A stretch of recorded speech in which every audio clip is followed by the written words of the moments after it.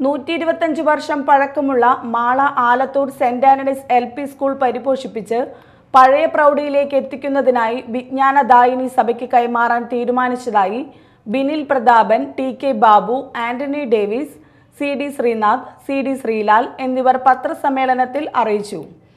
ഈ ആലത്തൂർ സ്കൂളിനും നൂറ്റി വർഷം കൊല്ലം നൂറ്റി ഇരുപത്തഞ്ച് കൊല്ലം പഴക്കമുണ്ട് എന്നുള്ളതാണ് പ്രത്യേകത.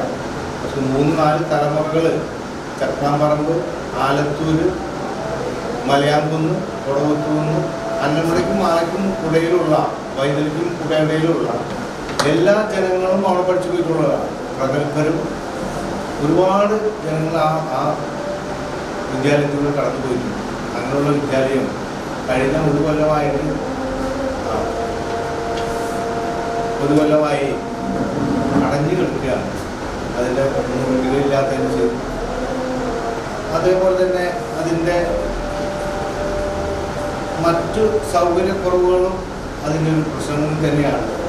അങ്ങനെ ഇരിക്കുന്ന സമയത്താണ് മിസ്റ്റർ ആന്റണി അഡ്വക്കേറ്റ് ആന്റണി നമ്മളുമായി ബന്ധപ്പെടുകയും ഈ സ്കൂളിനെ നമുക്ക് എങ്ങനെ രക്ഷിച്ചെടുക്കണം എന്നുള്ളൊരു ആവശ്യം അറിയിക്കുകയും സഭയുടെ സാമൂഹിക പ്രതിബദ്ധത കണക്കിലെടുത്തുകൊണ്ട് സഭ കമ്മിറ്റികളും മറ്റുള്ള എല്ലാ മെമ്പർമാരുമായിട്ട് ആലോചിച്ച്. നാളെ എസ് എൻ ഡി പി യൂണിയനും കൂടി ആലോചിച്ച്.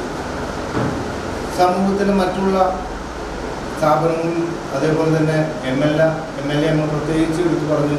നമുക്കത് എടുത്തെടുക്കുക അത് പുനരുജ്ജീവിപ്പിക്കണം അതിന് സഭ ഇടപെടണം സഭ എന്തായാലും അതിന് ഇടപെടേ പറ്റൂ എന്നുള്ളത് ആലത്തൂർ ചക്കാമ്പറമ്പ് പ്രദേശവാസികളുടെയും നാട്ടിലെ സംഘടിത സംഘടനകളുടെയും തദ്ദേശ സ്വയംഭരണ സ്ഥാപനങ്ങളുടെയും വിവിധ രാഷ്ട്രീയ ജനപ്രതിനിധികളുടെയും കൂട്ടായ പ്രവർത്തനത്തിലൂടെ സ്കൂളിനെ മുന്നോട്ട് കൊണ്ടുപോകാനുള്ള ശ്രമത്തിലാണെന്നും ഉത്തരവാദിത്തങ്ങൾ സാമൂഹ്യ പ്രതിബദ്ധതയായി വിജ്ഞാനദായിനി സഭ കാണുന്നുവെന്നും അധികൃതർ പത്രസമ്മേളനത്തിൽ അറിയിച്ചു.